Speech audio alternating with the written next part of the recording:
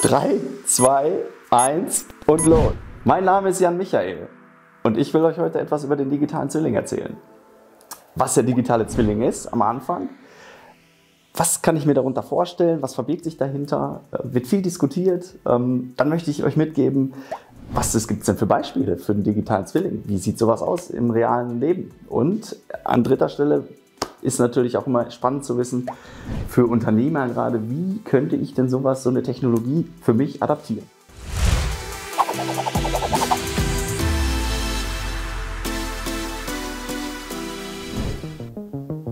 Was ist der digitale Zwilling?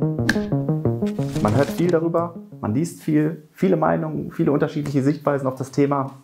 Grundsätzlich ist der digitale Zwilling nichts anderes als eine Zusammenstellung vieler virtueller Elemente, die ein reales Objekt ergänzen.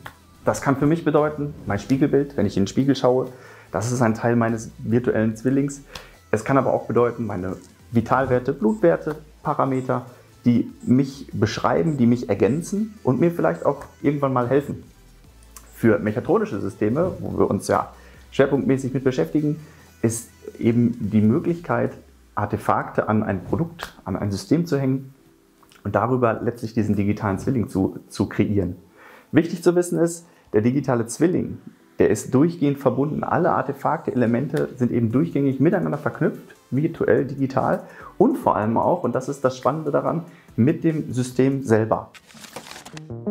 Ein Beispiel für einen digitalen Zwilling ist meine Testautomatisierung, die ich auf Basis von virtuellen, hybriden Tests äh, durchführe, wo ich dann eben virtuelle Artefakte mit meinem Realsystem verkopple. Das kann eben sein, dass ich eben ein virtuelles Verhalten eines Systems habe, was ich eben äh, virtuell simuliere und das Ganze noch mit meinen Anforderungen verknüpfe. Und das ermöglicht es mir, eine durchgängige Automatisierung meiner Testabläufe zu ermöglichen. Bringt mir unheimlich viel Effizienz in die Prozesse und sichert mir letztlich Qualität.